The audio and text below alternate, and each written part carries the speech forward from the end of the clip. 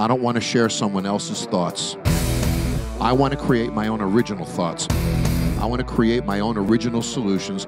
I want to look at situations and come up with my own phrasing, my own words, and do it my way.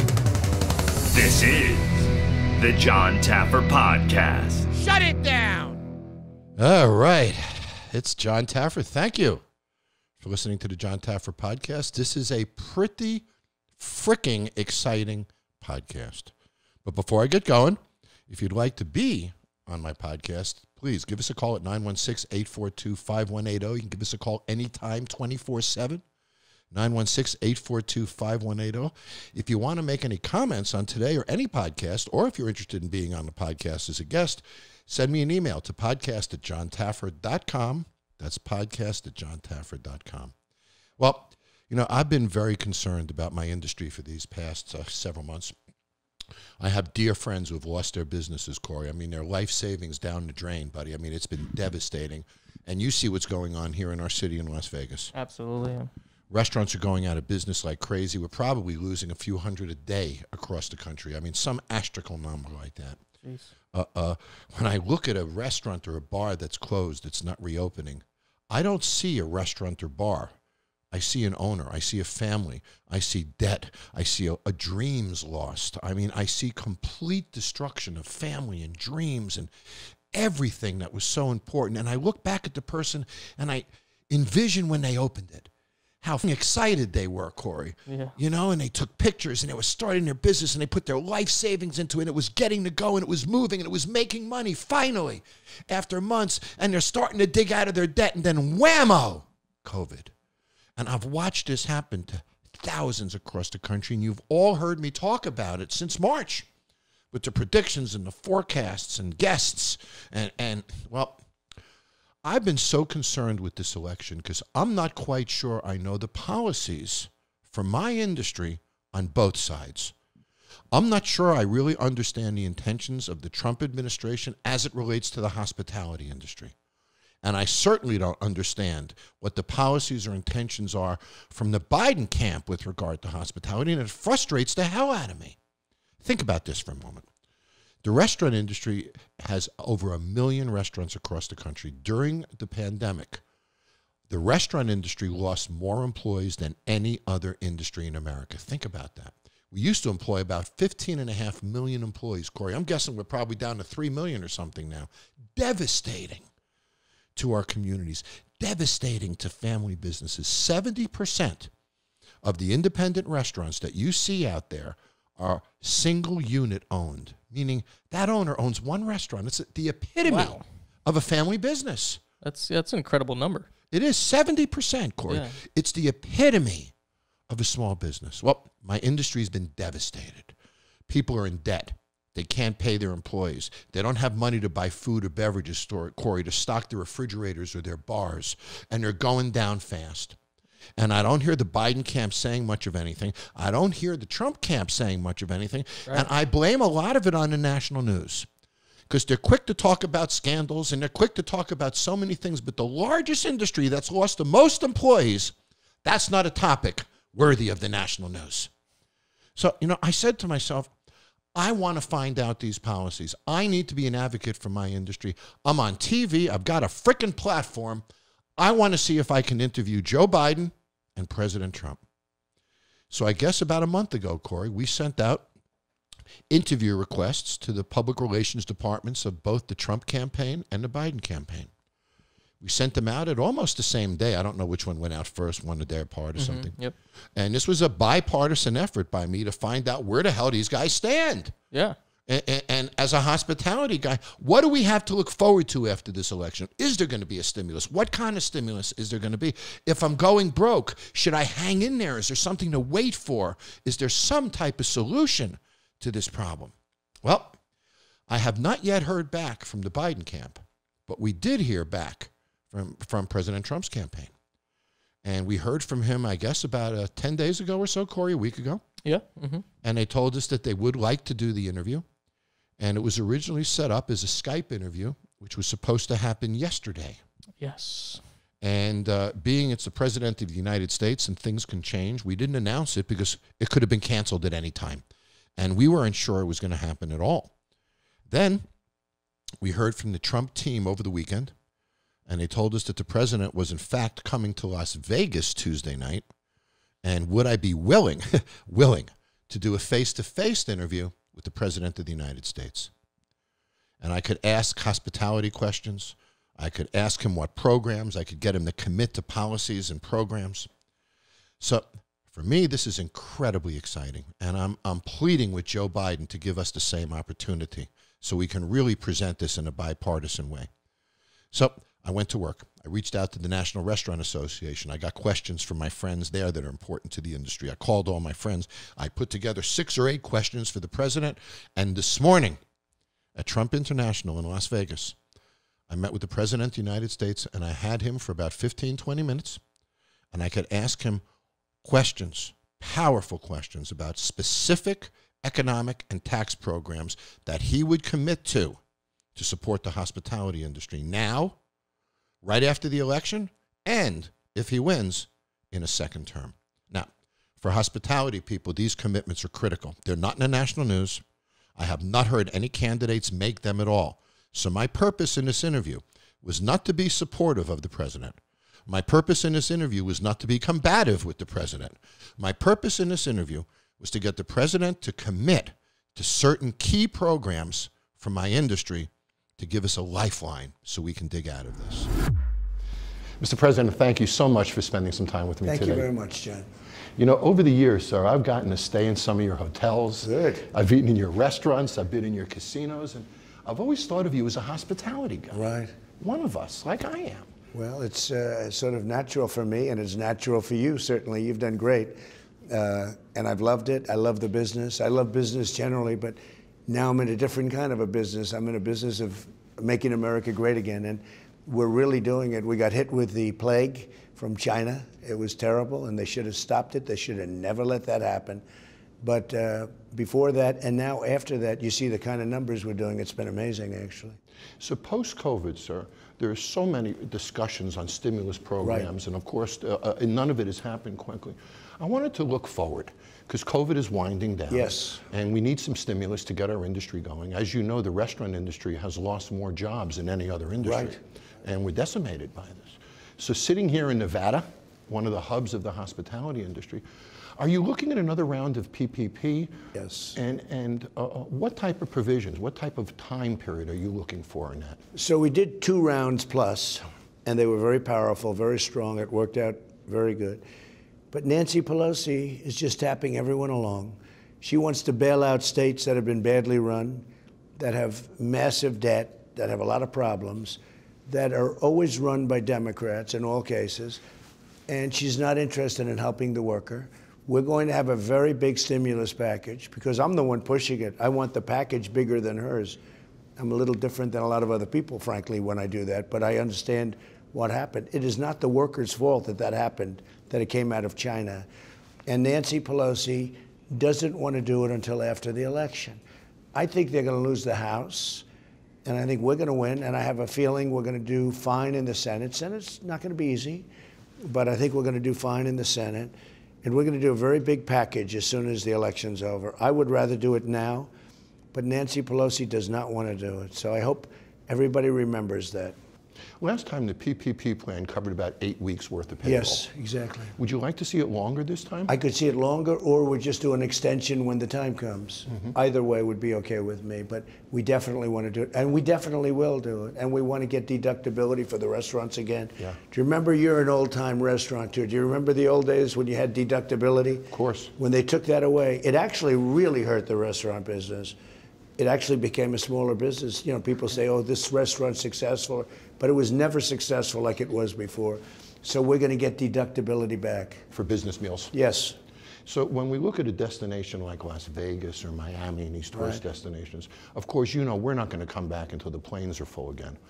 And, and I've heard you mention just in passing that you've looked at some domestic travel incentives. Right. Is that something you're still committed to? So we're doing we're doing a lot. We're working very hard with the airlines. I agree with you. You have to feel comfortable getting on a plane to make Nevada, really the whole state, whether it's Las Vegas or not, but Nevada, really where it was seven months ago. You know, we had we created something that was the most successful economically that we've ever been. That includes this state.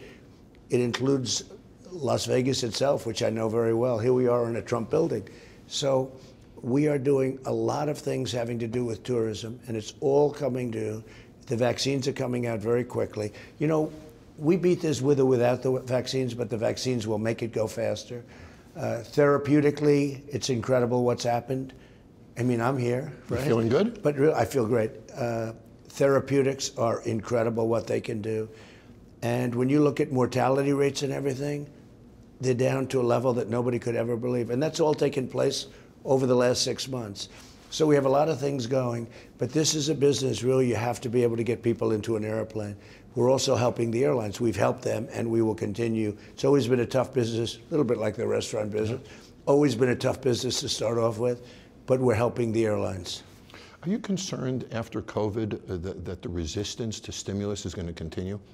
No, I think once we get past the election, we're going to get it. Uh, uh, it may be bipartisan, it may not have to be, depending if we win the House, it won't have to be. But uh, I think after, right after the election, we're going to get it one way or the other. It'll happen. You know, the employee retention tax credit has been very, very helpful for restaurants keeping employees Right. going during Right. this. Is that something that you'd consider expanding into more restaurant types? We're going to do that. We're going to do that for the worker and the employer.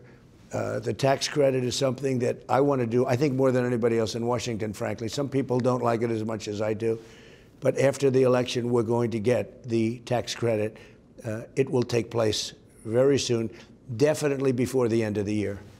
So when we look at a market like Las Vegas and Miami, because of what's going on in Right. airlines, they become sort of drive-in markets Right, now, right. rather than fly-in markets. A little bit. Do you see any incentive for hotels as a sector?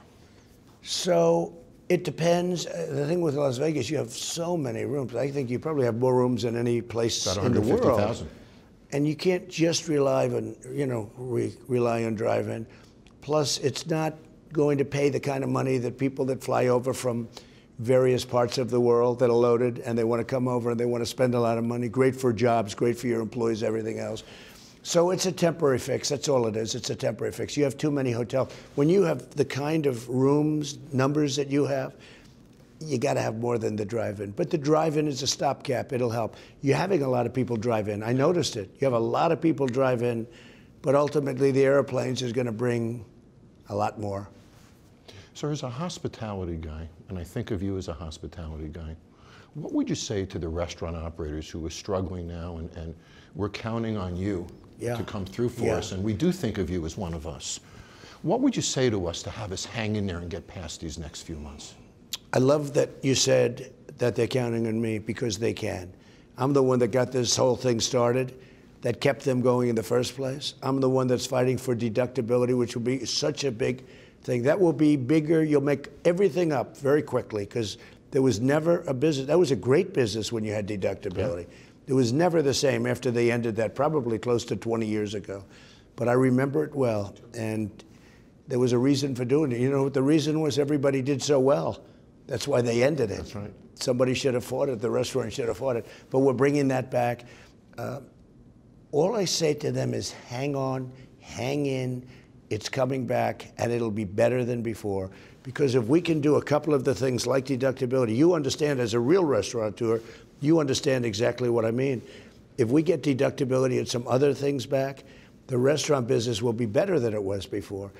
And this is the time to get things. I mean, normally you could never even think about deductibility.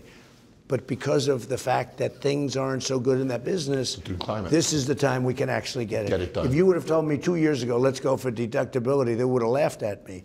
But now we can get, Get it. it and if we get that, it'll be better than ever. That's exciting. Yeah, it's, to me, it's exciting. To me, ultimately, a little longer term, but ultimately, that's the most exciting thing for your business. Sir, some restaurateurs, of course, and hoteliers are- in debt four, five, six months Yeah. because of, of revenue loss. Do you see any kind of debt relief program in the PPP or through Yep. another vehicle? Well, we did a lot of it, and now what we're doing is replenishing, and we have a bill in that we want the Democrats to approve. It's all going to happen right after the election. You watch. Because no matter who you are, no matter how cold, how mean, how nasty, and you have some beauties in Washington, it makes sense. It wasn't the owner of a restaurant's fault, and certainly wasn't the employees, the people that work in the restaurant no matter who you are, it makes sense. And I've had very little problem getting people to like it. Right after the election, that'll all happen. Yeah, I believe that. I think it's important, actually. so. We can look forward to another round of PPP. Yes, absolutely. And We can look forward quickly. to your commitment to, to business meal deductions. Yep. It's, we can it was actually forward- my idea. I'm the one that brought it up. I know, I heard They you said. "What does it mean?" You you heard it from me first, Yeah, right? yeah. They all said, "What does it mean?" I said, "It was very easy to explain, but what it is is the best single thing. Best part of our conversation is talking about it. We're going to get it. It'll mean a lot of money to us. And then you're going to look at some domestic travel incentives yes, as well. We're going to do that indeed, and that'll happen. And you're right about the automobile, the car. A lot of a lot of business is coming in by car, but ultimately, the plane is very important. So, Mr. President, how are you feeling? I feel really good. I'm excited. I'm excited about the election coming up. Um, our voters go out on Tuesday. They don't even like voting on Monday. They don't even like the. They want to vote, and we're going to have a red wave. I think you understand this better than most. We're going to have a red wave, the likes of which has never been seen, including four years ago. That was a tremendous red wave. But I think you have people out. There's, I leave places. Last night we were in Omaha, Michigan, Wisconsin tens of thousands of people at every place. So we give very short notice. And nobody's ever seen anything like it. Jon, I think we're going to have a tremendous election. I tell the people, wait till Tuesday if you want, or go and vote early. But they really like to wait. You'll explain that to me. But they really like to wait till Tuesday. They want to go out and vote on Tuesday. A lot of traditional people, but they feel safer. They don't like ballots. They don't like sending them. They don't trust it. They want their vote to count. I think we're going to have a Tuesday, but you're going to have an early vote, but a Tuesday the likes of which we've never seen before. It's going to be an exciting day, sir. Jon, it's an honor to be with you, and keep up the good work. Thank you, Mr. President. It's, And it's- someday you'll run for office, I think, you know? I'm looking at it very seriously. I have a feeling. I have a feeling. I've heard it, and uh, you would do very well. So, wow. Here I am sitting in my home studio. You and I, Corey, doing our podcast like we've done so many times before. But what a day. What a day, Jon. Yep. So it started for us at about seven this morning. Uh, we went to a, a, a hotel in Las Vegas where we had to be tested. Uh, we had, of course, submit paperwork a couple of days ago for Secret Service clearance. We received our clearance. I'm very surprised they cleared you, Corey, to be honest with you. Me too.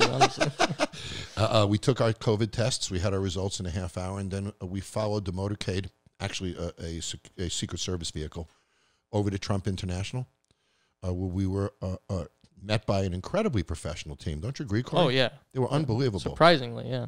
and, and set us up in the meeting room, and uh, we waited and waited. And when the president entered, it was it was of course an exciting moment. And you know there are people who are going to politically say, "Yeah, Taffer, how could you do this? How could you do this?" I have a responsibility to my industry to do this.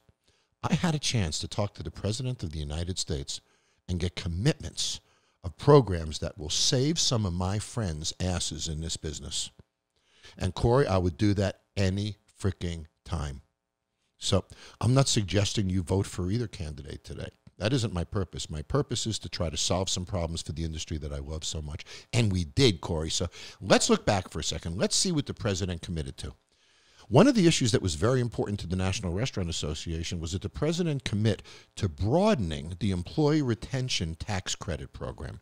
That's a program that provides employers with tax credits for employees so I can keep employees around, right? Because I have incentives to do that. But it only applies to certain types of restaurants and food and beverage operations.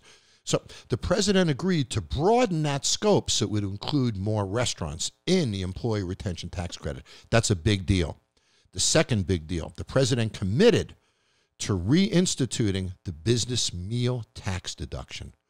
Corey, when the tax deduction ended, I'm going to guess it was about 20 years ago or so, restaurant revenue suffered from it. Suddenly, you couldn't go out to lunch and write it off anymore. Oh, you didn't okay. go out to lunch as much. Right. So it became very, very different. And you had to be in a certain entertainment mode and with a client, and, and, and deductions for business meals were much more difficult to do, and in most cases, gone. Well, if the president brings that back, that's a powerful, powerful revenue vehicle for the restaurant industry. He committed to that today. So that's two commitments employee retention tax credit and a commitment to reinstitute the uh, um, business meal deduction. The third thing that the president committed to today, which is also very powerful, is a domestic travel incentive. In essence, what that means is let's say you get a 30% tax incentive if you bought an airline ticket or something along those lines. I don't know the economics, but the fact is he committed to a program to incentivize domestic air travel. That means more business travel, Corey. That means more personal travel. That means you'll be incentivized to come to a Las Vegas. Not only can you fly on a business incentive, but your business meals can be deductible when you get here. Wow. So these are big commitments. So to me, it was a very successful exercise. And I'm just thrilled that I had this opportunity. And I must say, President was extremely gracious to me. He was extremely gracious to you, Corey, was he not?